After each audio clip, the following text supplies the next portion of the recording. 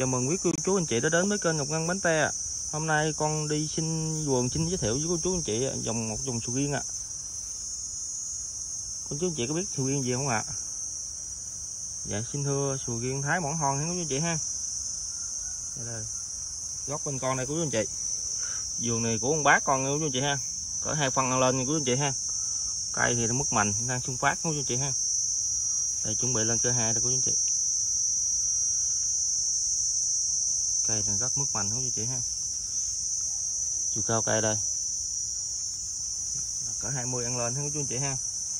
Cái lô gốc này cực kỳ là đều của chú chị tại gốc tiễn của chú anh chị ha. Rồi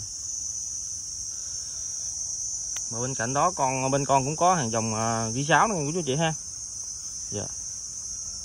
Rồi như ý những dòng sầu riêng mới giờ chú chị. Black con muskin bên con có đủ hết chú chị ha? Đây. Vườn của bác là đủ lắm, đủ đủ loại luôn chú chị ha.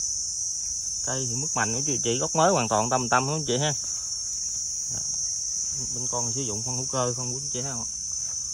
Dạ, Đó. về của chú chị để xuống là hết liền ha, chú chị ha.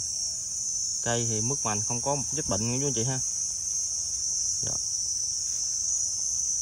trong quay sơ tổng thể cho cô chú chị coi ạ. Cần cái giống là liên hệ bên chị con hay của chú chị ha. Dạ xa xa ở tông còn nhiều nữa của chú chị ha. Dạ.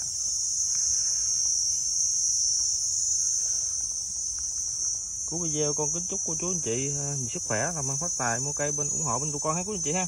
Lúc gài mùa mưa tới của chú anh chị ơi trồng cây của chú anh chị ơi. Cây sầu riêng là cây làm giàu kinh tế hết của chú anh chị ha? Dạ. Con xin kết thúc video, video ở đây hết của chú anh chị ha? Dạ. cây thì con có in bịch hết rồi của chú anh chị. Tem mộng gõ gàng của chú anh chị hết ạ xin chân thành cảm ơn của chú anh chị ạ.